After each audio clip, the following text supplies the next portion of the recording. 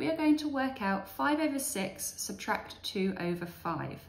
Now, whenever you are subtracting fractions or adding fractions, you have to have a common denominator.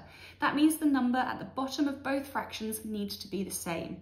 Now, to decide on your common denominator, you're going to work out the lowest number in both times tables. So I'm going to be working out the lowest number in the 6 and the 5 times tables.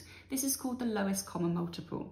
Now, for this question here, the lowest common multiple of 5 and 6 is 30. So I'm going to change both fractions to have a denominator of 30.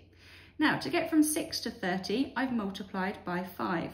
Whatever you do to the bottom of a fraction, you have to do to the top. So I'm also going to multiply the top of the fraction, or the numerator, by 5. 5 times 5 is 25.